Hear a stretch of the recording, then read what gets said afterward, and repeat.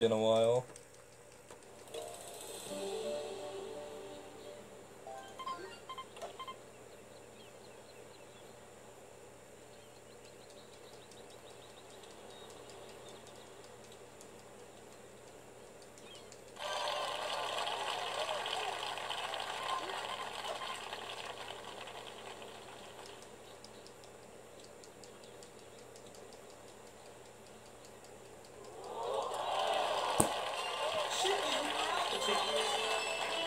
Uh,